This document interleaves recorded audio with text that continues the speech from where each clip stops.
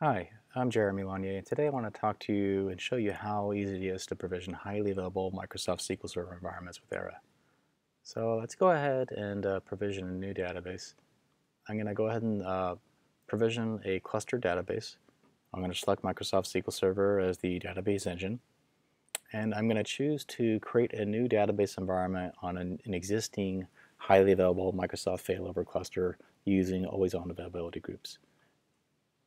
In this example, we'll be creating a new database schema and auto-attaching the necessary storage for the primary database as well as all the replicas. They're going to be sitting on the different nodes in the, in the SQL Server cluster.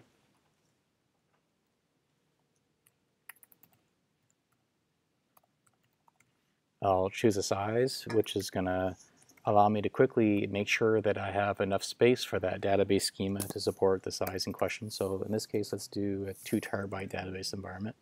You may notice that, uh, that Era is not asking for a lot of the inherent details that one would typically have to know about infrastructure, like uh, the number of drives and spindles and uh, um, you know, uh, file system layouts and configurations. All of those are automatically factored in and applied as a part of best practices. I'll select a set of uh, tuning parameters that will help to initialize that SQL Server environment, select my database collation, and then I'll be able, uh, be able to choose whether I want to provision that, uh, that database to an existing AG or to create a new AG.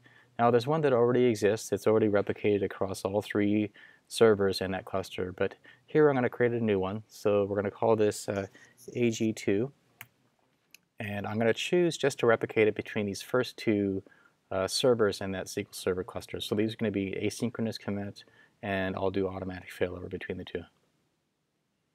And finally, I'll select a data protection scheme.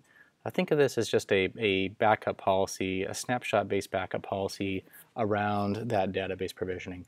So I'll select a backup scheme that automatically protects my database for seven days with daily snapshots. I'll schedule the time of day for that, maybe 2 o'clock in the morning, and I'll click provision.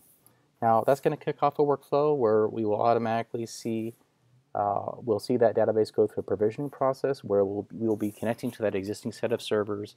We'll be creating a new availability group um, based on the requirements. We'll be joining the replicas of that availability group and then attaching all the necessary storage from the Nutanix platform to support those new databases based on our best practices. Thank you very much.